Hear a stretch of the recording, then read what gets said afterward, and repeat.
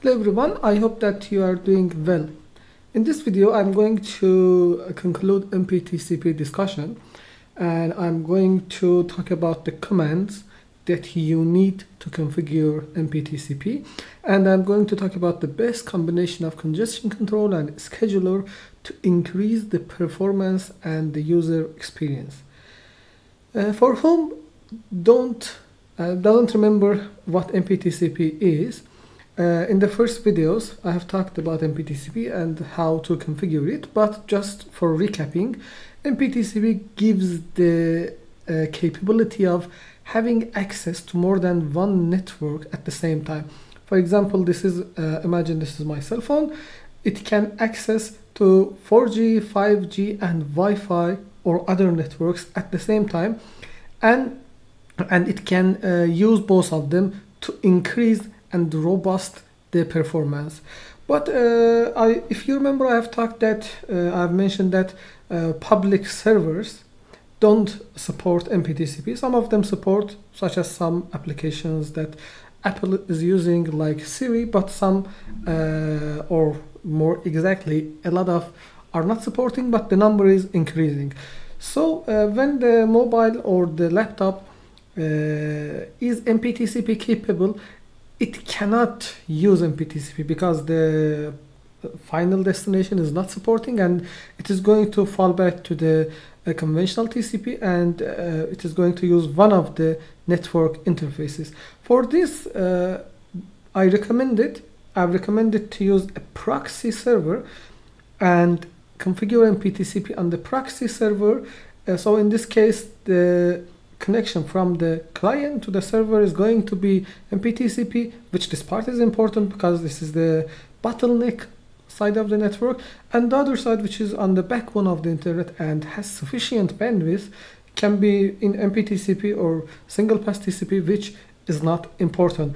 In this case, we can improve the compatibility uh, of our uh, device to the proxy uh, which both of them are MPTCP and we can increase the user experience.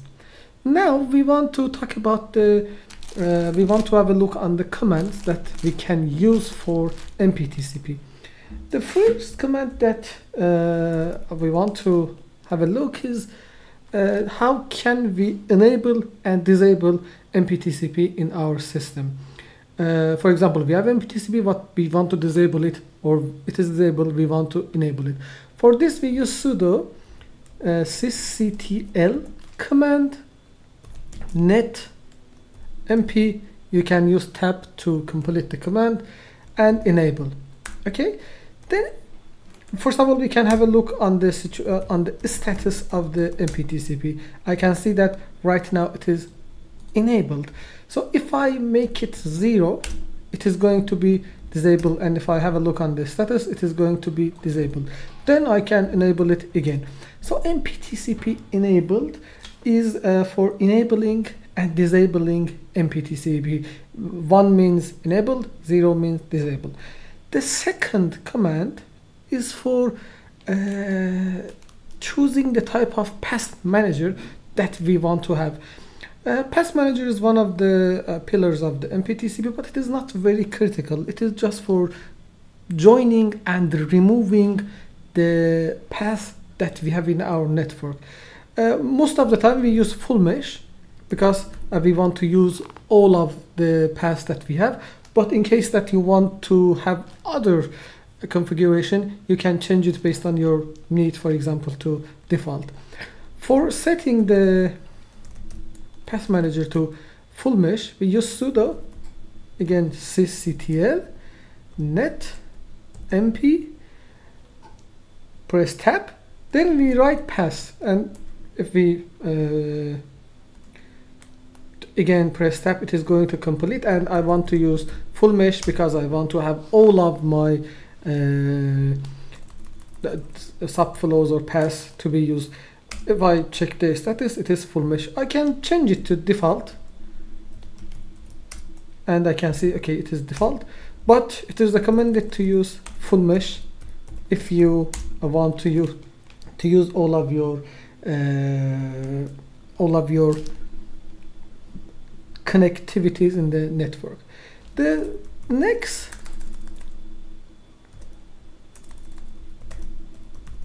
command is for uh, changing the scheduler. Uh, if you don't remember what scheduler is, uh, scheduler is the part of MPTCP that selects which path is responsible for sending the current data. For example, we have two passes. Imagine we have 5G and, for example, Wi-Fi. The packet is arriving uh, at the scheduler. It is saying, okay, right now, LTE or, for example, 5G, you are the responsible. The next time, you are the responsible. Or again, 5G, 5G, 5G, then Wi-Fi. Scheduler has a, a critical role on the performance of MPTCP. We have different schedulers such as default, redundant, uh, round, robin, which are uh, by default in the Linux kernel and we have two uh, new uh, schedulers called BLEST and ECF. These are BLEST and ECF uh, have been introduced in two papers and uh, if someone is interested uh, for the um, for how they work uh, you, he can have a look on them but uh, in a summary BLEST tries to uh, prevent head of line blocking problem and ECF is trying to find the fastest path to send the data default which by default is in the Linux kernel is trying to choose the path that has the lowest latency or lowest RTT until the, uh, the until it is full. Uh, then it is going to change the to the to the best second one. Redundant is duplicate redundant duplicates the data and send them from all of the available paths, which is going to uh, waste the resources. Round robin is going to use a timer and based on that timer is sending packets to the different paths that are available. From for changing the first of all for seeing the um, available the current scheduler again we use sysctl net mptcp scheduler and as I told you default is the uh, is the default one in the Linux kernel. But based on the analysis that I, that I have done for my uh, new papers, the best scheduler in most of the cases is BLEST. So, but it is the problem that we cannot, because I have it, it is going to set it to BLEST. But the problem is that we cannot uh, set the scheduler to the BLEST because it is not enabled by default. If you want to have it in your Linux kernel, you should uh, uh, use this command sudo modprobe dash v mptcp underline blest. Okay, this is going to add the blest to the uh, available schedulers. Then you can use the same uh, command that I have used and you can change it to blest as uh, you can see. Uh, you can change it to ECF you can change it to round robin but okay it is not. So we need to add round robin to the okay it is not uh, uh it is not in the uh,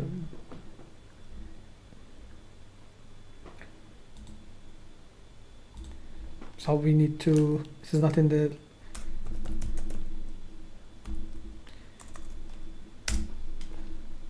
so we need to change uh, we need to use another command this one to add round robin. Then we can set it to the round robin. So if modprobe is not uh, working we can use ins insert mode or ins insmod to insert the uh, scheduler or even the congestion control that we want. So as I told you, the best one is BLEST. So if you want to have the best performance, you should set the scheduler to BLEST on your proxy server. The next one is for setting the congestion control mechanism. Uh, for whom um, doesn't remember what congestion control is, uh, after uh, having the path selected by the uh, scheduler, we should uh, we should not we MPTCP should set the sending rate on the path.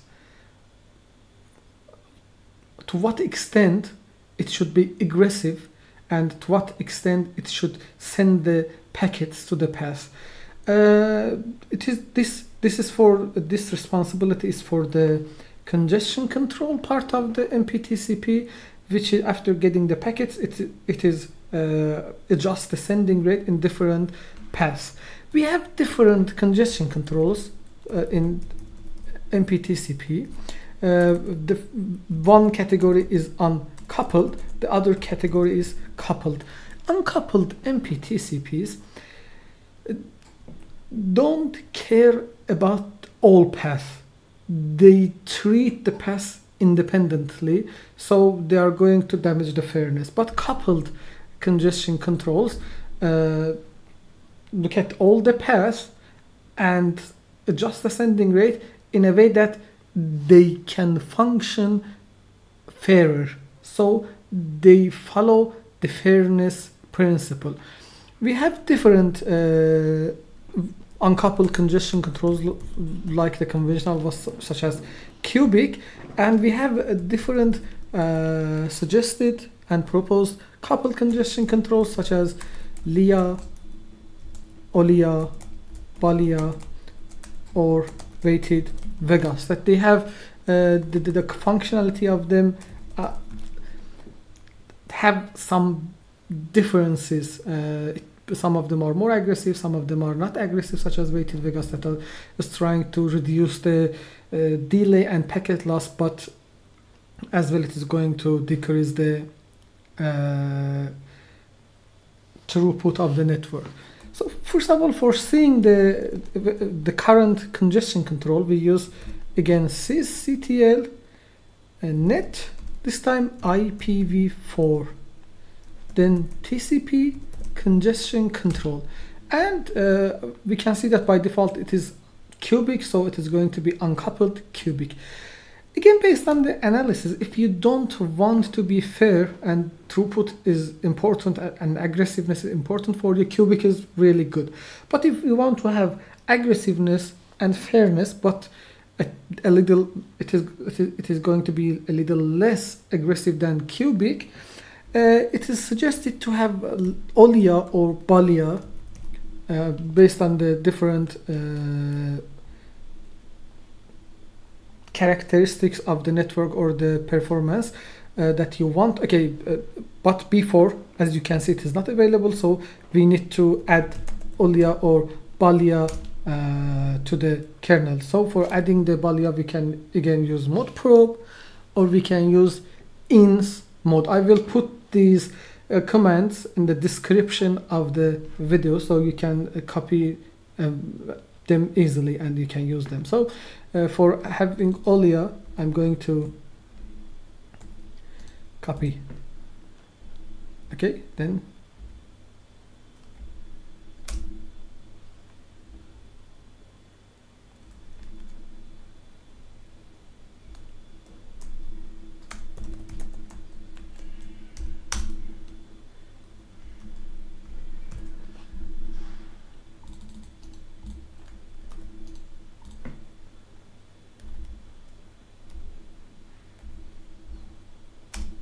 if one of them is not working uh, you can use the other one. Now my uh, congestion control is Olia. If I want to change it to uh, Balia again the first step is to uh, have the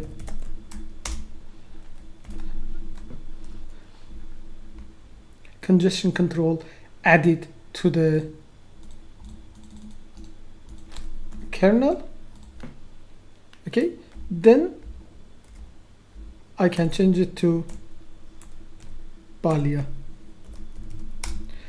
now I can see that my congestion control is Balia so in this video we have learned how to change different parameters of MPTCP and we have learned that most of the time Blest uh, which is a newly pr uh, proposed scheduler uh, has the best functionality and if we want to and we can change our uh, congestion control uh, on our system or on our proxy server to Olia or Balia to have more robust functionality.